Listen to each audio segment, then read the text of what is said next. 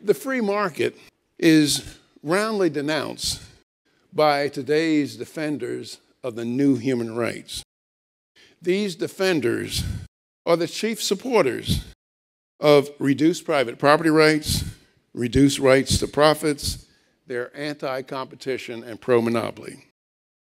These people in our country and elsewhere believe that they have more intelligence and superior wisdom to the masses. And they believe that they have been ordained to forcibly impose that wisdom on the rest of us, whether we like it or not. Every tyrant has had a good reason for restricting the freedom of others. The reason why uh, the agenda of tyrants is to eliminate the free market. Why do tyrants want to eliminate the free market? Well, the free market implies voluntary transaction. And tyrants do not trust that people behaving voluntarily will do what the tyrant thinks that they ought to do. Their plan requires either the elimination or the attenuation of the market or the elimination of peaceable voluntary exchange. Their plan calls for economic planning. I will give you a definition of economic planning that will last you your entire lives. Economic planning is nothing more than the forcible superseding of somebody else's plan by the powerful elite.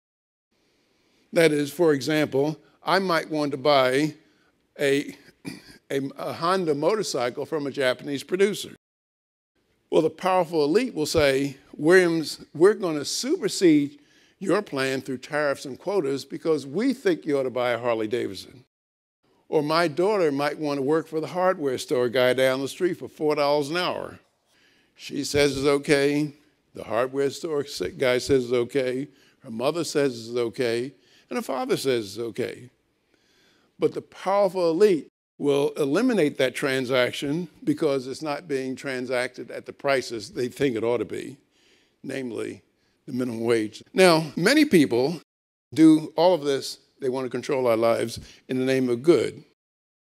But do gooders fail to realize that most good done in the world is not done in the name of good.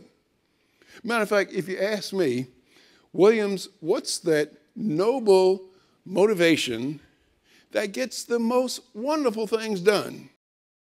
I would say greed. That is, people trying to get as much as they can for themselves. I'm not talking about ripping off people, robbing people. I'm talking about people trying to get as much as they can for themselves. Now, you might not have thought it this way, but let me ask you a couple of questions. Now, last winter, you had Texas ranchers getting up in the middle of the night in blizzards, running down stray cows to take care of them, feed them, inoculate them, making this huge personal sacrifice so that New Yorkers will have beef on their shelves. You have Idaho potato farmers this summer doing backbreaking work, the sun beating down them, the bugs biting them, dirt underneath their fingernails, making this personal sacrifice so that New Yorkers will also have potatoes. Now, why do you think they're doing that? Do You think they're doing that because they love New Yorkers? They may hate New Yorkers. I'm not that wild about New Yorkers myself. But they make sure that beef and potatoes gets to New York every single day of the week. Why? Because they want more for themselves. This is what Adam Smith said in uh, The Wealth of Nations that the social good is promoted mostly by the private interest. Now I ask you, how much beef and potatoes do you think New Yorkers would have if it all depended on human love and kindness? I'd be worried about New Yorkers. I've often said that I don't care much about future generations. And sometimes people say, Well, Williams, how come you don't care about future generations? And I ask them, What have future generations ever done for me? I mean, some kid that's going to be born in 2050, what has he done for me? How then, if he hasn't done anything for me, how then am I obliged to do anything for him? But however, if you watch my actual behavior, my behavior would make a lie of that sentiment. That is, I have a nice property in Valley Forge, Pennsylvania. And several years ago, I took $400 that I could have consumed selfishly, bought two nice bottles of uh, Chateau d'Yquem Sauternes wine. But instead of doing that, I planted trees around my property. Now, when those trees reach their full maturity, I'll be dead. There'll be some 20, 50 kid in my trees eating my apples and pears. A number of years ago, Mrs. Williams made some extensive improvements on our house. New sunroom, with my money, by the way. And, and there's going to be some, the sunroom's going to outlive us. And there's going to be some 20, 50 kid enjoying my sunroom, tracking mud in there.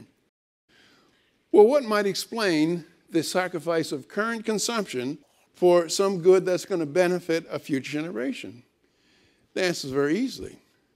The nicer my house is, the longer it will provide housing services, what? The higher the price I get when I go to sell it.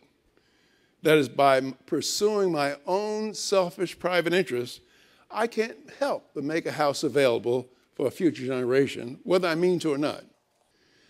And ask yourself, would I have the same incentives if there were a 75% transfer tax when I went to sell the house? I would not. Whatever weakens my private property rights in that, in, in that house weakens my incentive to do the socially responsible thing, namely conserve on the scarce resources of our society.